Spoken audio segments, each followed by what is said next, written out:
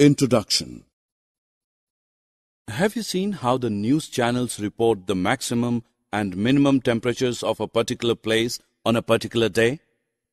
34.3 degrees Celsius, 21.2 degrees Celsius.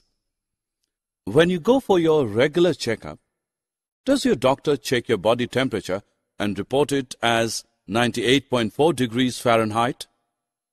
The dots you see in these figures are known as decimals and these figures are known as decimal numbers.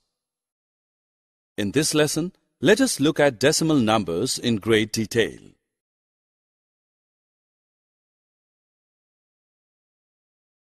Objectives At the end of this lesson, you'll be able to understand decimal, relate fraction and decimal, represent decimal on number line, compare two decimals. Let us understand the concept of decimal using fractions with denominator 10. Consider the fraction bars. In the first bar, only one out of the 10 blocks has checks. In the second bar, only two out of the 10 blocks have waves. Similarly, in the third bar, five out of the 10 blocks have stripes. In all these cases, we express the share of the patterned blocks to the total blocks as a fraction with denominator 10. Such fractions are called tenths. Thus, while one part is one tenth, two parts show two tenths, and five parts represent five tenths.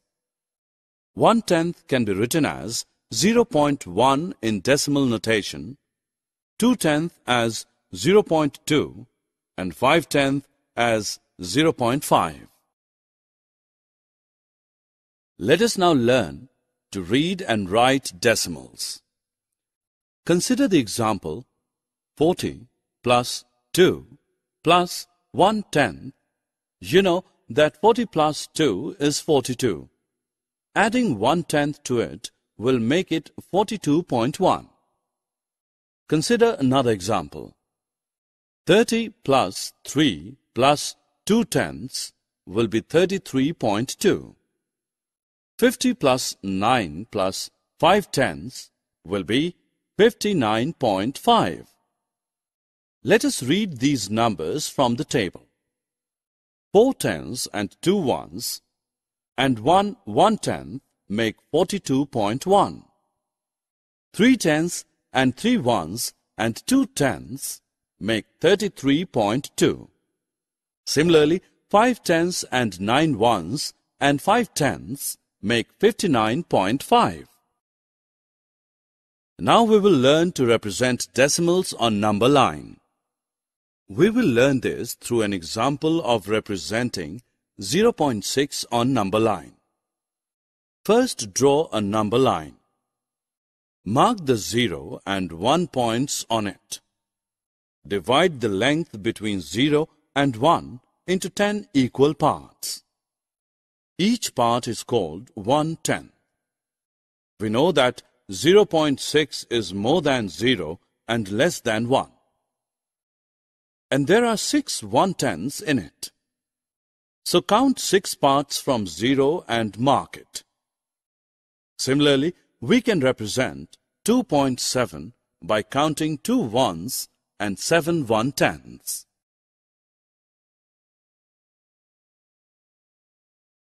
We know that a fraction with denominator 10 can be represented using decimals. Now let us learn to convert fractions with denominator 2 or 5 into decimals. Take the example of 12 upon 5. First, convert the denominator of the fraction into 10 in order to know how many tenths are involved. To know the number of tenths, multiply and divide the given fraction by 2. This gives the new fraction 24 upon 10. So we have two ones and four tenths, or two ones and 0.4, which makes it 2.4. Consider another example. Convert 3 upon 2 into a decimal. The denominator of the fraction is 2. To know the number of tenths involved, multiply and divide the fraction by 5. Thus, the new fraction is 15 upon 10. So, we have 1 and 5 one-tenths, which make it 1.5. Another way to convert such fractions is to simply divide the numerator by the denominator. One part in hundred equal parts is called one hundred. Each small square is called one hundredth of the whole square. In decimal notation, we read it as 0.01. 12 shaded square will make 12 hundredths or 0.12. 33 shaded squares will make 33 hundredths or 0.33. 52 shaded squares will make 52 hundredths or 0.52. Now concentrate on the table and let us read decimals from it. Look at the first row. 40 plus 5 tenths plus 3 hundredths will make 40.53. Now focus on the second row. 4 hundredths plus 3 tenths plus 2 ones plus 6 tenths and 8 hundredths will make 432.68. Now pay attention to the third row. 7 hundredths plus 8 tenths plus 5 hundredths will make 780.05. We can extend the place value table further from hundreds to thousands. Let us test our understanding by solving some questions. Write 800 plus 60 plus 9 plus 3 tenths plus 8 hundredths plus 4 thousandths as a decimal. 800 plus 60 plus 9 is 869. 3 tenths plus 8 hundredths plus 4 thousandths is three plus point zero eight plus point zero zero four, which adds up to 0.384. So the answer is 869.384. Let us solve one more question. Write 473 and 4 hundredths as a decimal. In this number, 473 is the whole part. The decimal part is 4 hundredths, which can be written as 0.04. So the number is 473.04. Decimals with the same number of decimal places are called like decimals and decimals with different number of decimal places are called unlike decimals. In order to compare decimals, convert unlike decimals into like decimals. This can be accomplished by annexing trailing zeros to the number that has a shorter decimal part. Annexing zeros in the end will not make any difference to the value of the decimal. Compare 0.05 with 0.1. We can write 0.1 as 0.10 because there are two decimal places in 0.05. Now it is easy to tell that 0.10 is greater as it represents 10 hundredths, whereas 0.05 represents 5 hundredths. Compare the three numbers 542.5, 542.56 and 542.561. All three numbers have same whole number part, but their decimal parts are different. Convert all unlike decimals into like decimals by adding zeros at the end.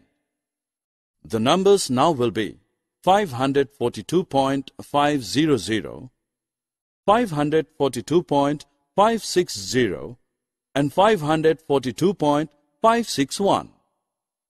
Now concentrate on the decimal part alone. The first number represents five hundred thousands.